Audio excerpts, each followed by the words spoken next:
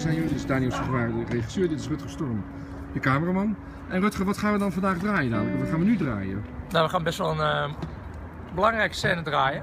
Isa die komt eh, bij eh, Angelica thuis en eh, nou, hij probeert haar dilemma eigenlijk eh, aan haar voor te leggen.